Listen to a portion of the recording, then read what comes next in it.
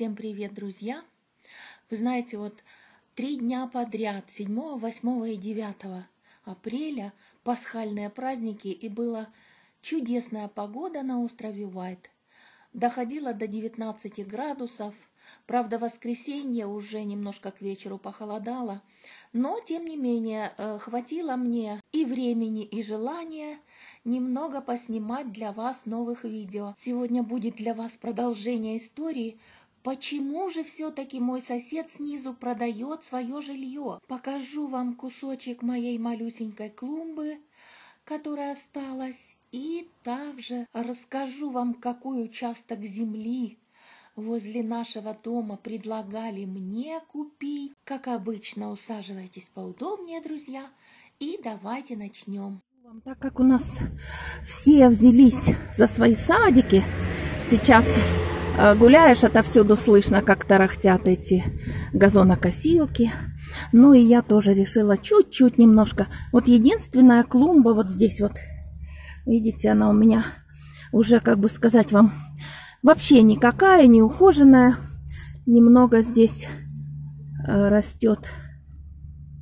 Вот красивенький такой цветок, вьющийся, даже не знаю. Ну и, конечно же, растет примула. Примула дикая. А потом я выставила вчера свои суккуленты просто в горшках. Думаю, пусть они у меня здесь поживут на свежем воздухе. Что с ними получится дальше, не знаю. Все, что я могла здесь преобразить, это то, что я посадила вот здесь вот петунию, купленную вчера. Но она что-то у меня даже здесь подзавяла немножко. Подзавяла. Вообще петунию, конечно, обожаю. Самый красивый цветок для меня. Там у меня еще в черенках петуния сейчас прорастает квартире. Я посажу и вот в этот горшок. Это петуния, вот совсем маленький такой. Один кустик стоит 3 фунта. Как-то, вы знаете, дороговато, по-моему. Ну вот здесь я, наверное, ее так и оставлю. А там я посажу от нее отростки, когда они прорастут. Вот так я занимаюсь садоводством, скажем так. Все, что могу. Пошла вокруг смотреть дом свой. Вот, видите, как здесь выглядит это все с этой стороны. И это вывеска for sale э, нижнего этажа. Все еще здесь висит. Что-то как-то я даже и движухи здесь не слышу. Э, сосед уехал сейчас, по-моему. Он уже давно сюда не приезжает. Все закрыто, видите, у него, да? а мои окна там вот наверху. Я до этого вам показывала и рассказывала, что у него тут шел ремонт квартиры. Такое преобразование он затеял, решил звукоизоляцию там сам сделать. Вот, даже просил у меня денег, что давайте напополам, тут две с половиной тысячи надо заплатить, чтобы звукоизоляция была нормальная. Я отказалась. Он вот это, значит, все затеял, сам уехал туда, в Лондон, как обычно. Ну и эти э, рабочие долго занимались этим, вы знаете. Э, здесь все делается неспешно, медленно в Англии. И они закончили где-то через полгода, наверное. И сосед приехал проверять, эту звукоизоляцию, значит, ко мне пришел, говорит, а вот не могли бы вы там музыку какую-нибудь включить, и мы посмотрим, что у нас, я же все тут заменил, все должно работать. Но я говорю, пожалуйста, я взяла и включила приемник, обычный приемник маленький, музыку включила, он ушел к себе, долго его не было, потом возвращается, весь такой грустный, говорит, вы знаете, я не пойму, но раньше, по-моему, даже вас было слышно меньше, чем стало слышно сейчас. Просто музыка как будто здесь у меня рядом. я говорю, ну вот я об этом вам, в общем, очень долго пыталась рассказать. Вам было меня не слышно.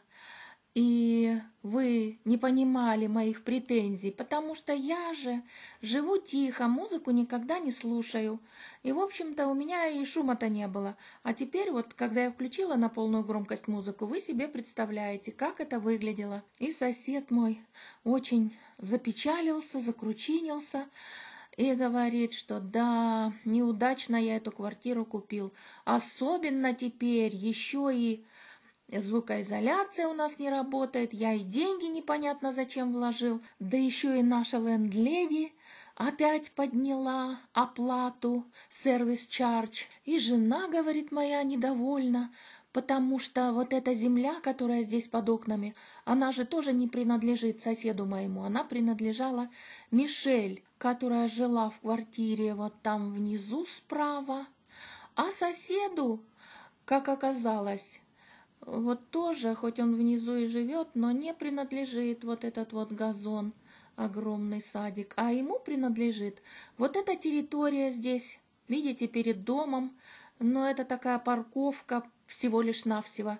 И вот территория там впереди, где растет у нас дерево и где он срезал там под моими окнами другие остальные деревья. Ну, то есть вот получается, что у него вот эта вся северо-западная часть вот этой земли как раз и его.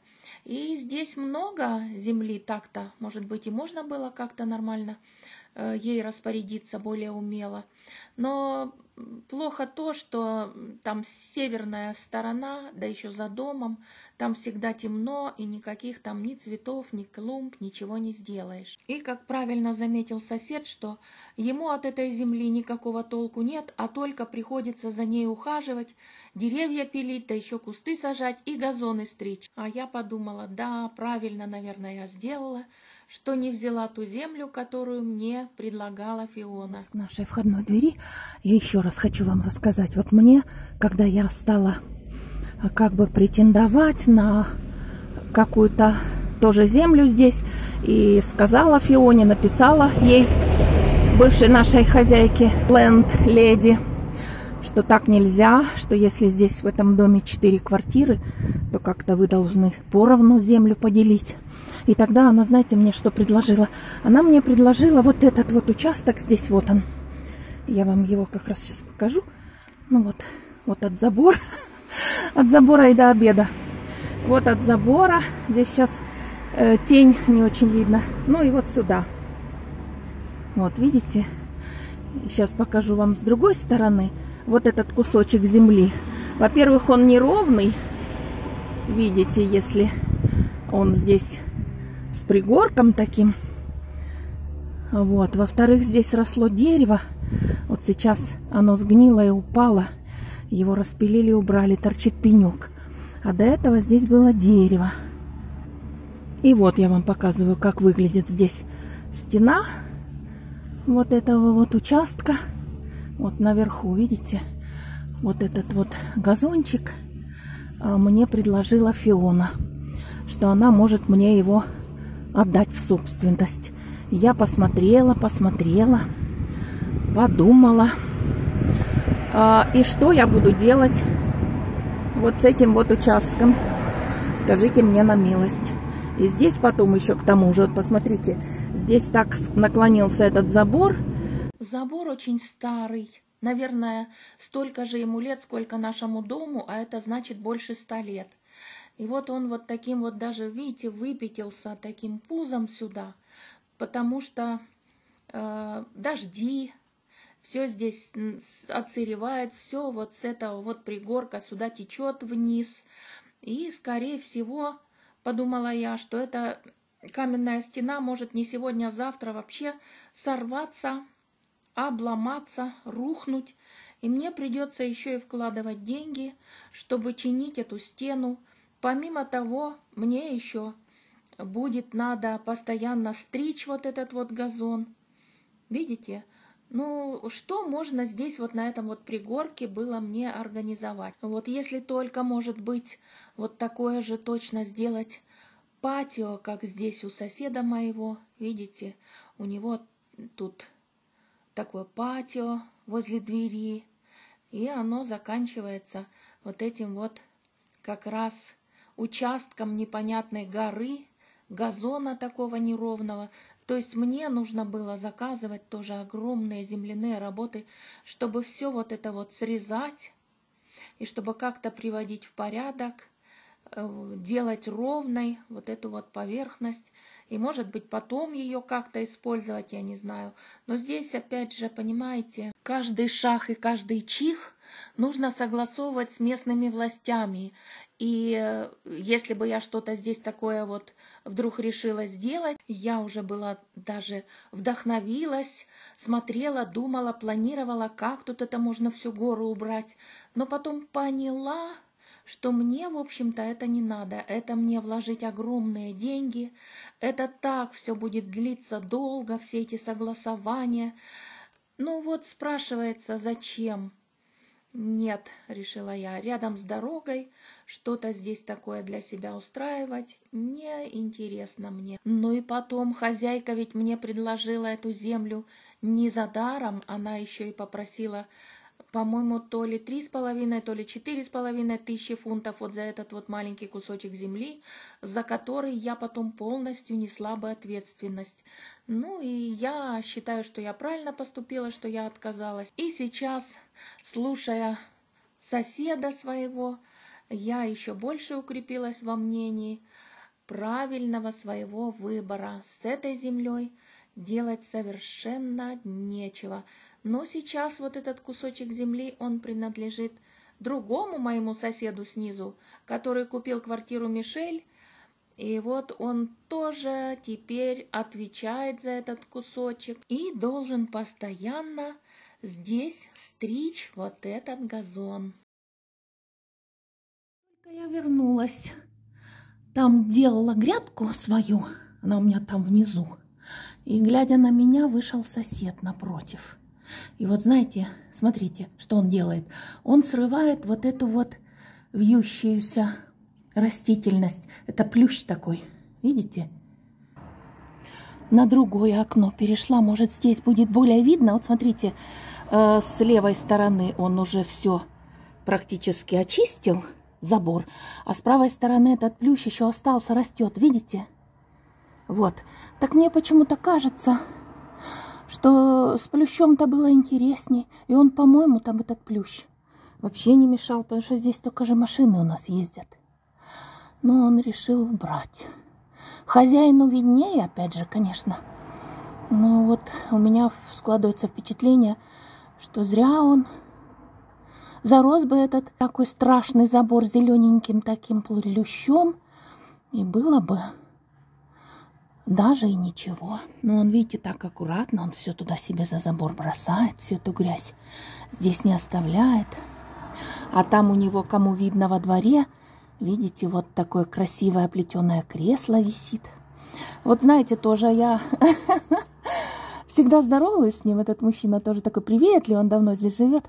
Когда внизу стояла, я никогда не видела, что у него там так классно с креслицем и патио небольшое перед домом. А вот непонятно почему, смотрите, этот забор, он весь глухой. И калитки сюда выхода нет. Э, где у него выход? Сейчас я попробую посмотреть, вам покажу. Да нет, вы знаете, я почему-то не увидела выход. Вот если, может быть, вот там вот, где белая висит простыня, может быть, там вот калитка вот эта затемненная. Трудно сказать. А вообще территория у них, конечно, большая. И там его жена помогает, видите. Она стрижет газон. Вот. Тут у меня можно созерцать теперь все. Все вокруг. Что я порой и делаю. Было здесь чудесное дерево. И вот в прошлом году спилили, остался пенек. Посмотрите, видите, судя по спилу, дерево ничем не болело. Здоровое, красивое, отличное. И знаете, остается только узнать, а как разрешили вообще здесь на набережной спилить такое огромное дерево. Порядка ста лет дуб, наверное, был здесь. Так вот, я вспомнила высказывание одного олигарха русского, как он говорил, что деньги пилят сталь и камень. Деньги все пилят. Вот, наверное, помешало здесь хозяину этого отеля. Это большое дерево. Уж не знаю, чем помешало. Ну вот, гроши, гроши пилят камень. Но у меня на сегодня для вас все. Единственное, что хочу напомнить опять, друзья, не забудьте поставить лайк, ну или дизлайк, если кому-то не понравилось мое видео. Я таким образом буду знать, что именно вы предпочитаете смотреть в моих последующих видео. Не забудьте, пожалуйста, также посмотреть рекламу, если она у вас есть, и напишите свои пожелания, комментарии. А на этом я с вами прощаюсь, друзья. Берегите себя в это трудное время. Всего вам доброго. Пока-пока.